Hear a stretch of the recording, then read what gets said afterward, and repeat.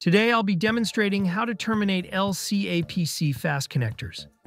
Using the method, I'll share. You'll be able to easily terminate fast connectors on your own, and this method can be used for SC fast connectors as well. Let's gather the necessary tools and begin the termination process.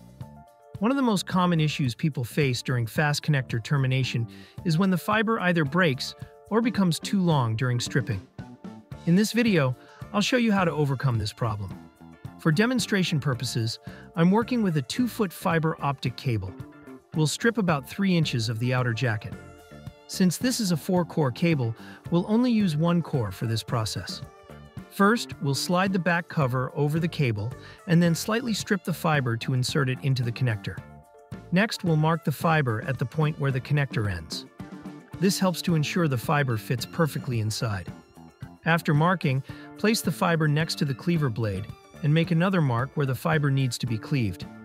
This measurement allows us to cleave just the right length. Now, subtract the length of the connector lock from the initial measurement. This step ensures the fiber sits securely inside the lock. This process only needs to be done once for the first end.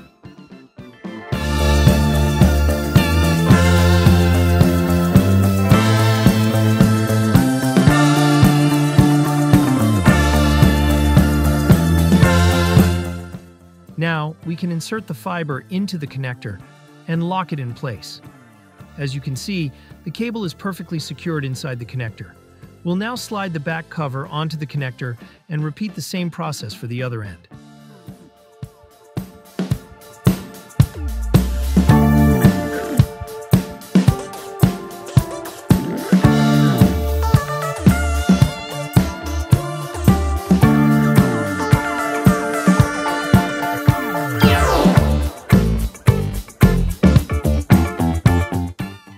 However, this time, we won't need to measure or mark again, since we already know the exact fiber length to cleave.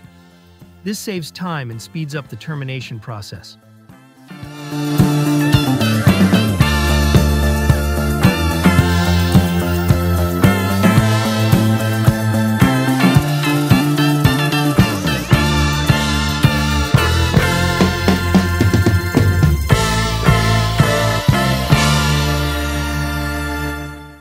After terminating both ends, we'll test the connection using a visual fault locator. If the light is strong, it means the termination was successful. Currently, I have the VFL light source. To test the LC connector, we'll use an SC to LC patch cord and join it with the help of an adapter. As you can see, the light is coming through strong, which confirms our termination was successful. Thank you for watching. Don't forget to like and subscribe for more tutorials. I'll see you in the next video.